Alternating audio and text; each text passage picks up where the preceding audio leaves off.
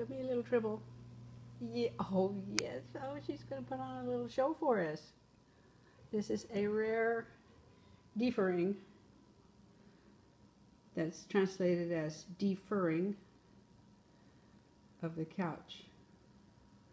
We've got the cushions off. And we put this little face thing up here to drape down in front. Sort of keeps the, the fur in order. Got our helper here.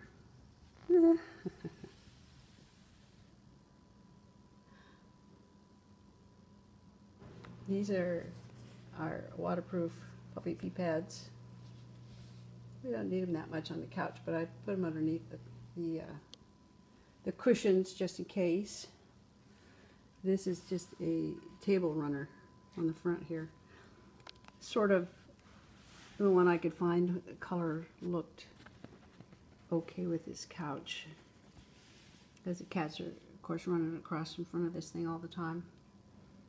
And uh, keeps fur off of the uh, front of the couch. And then I can just wash it.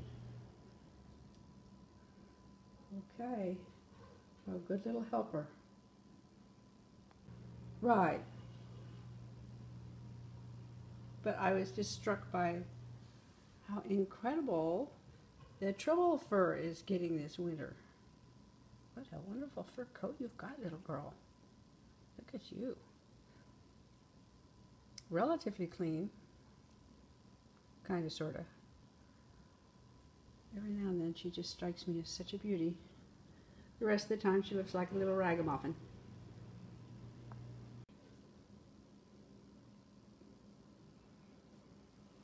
All done.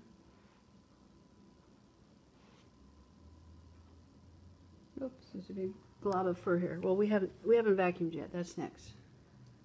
We're in a cleaning frenzy.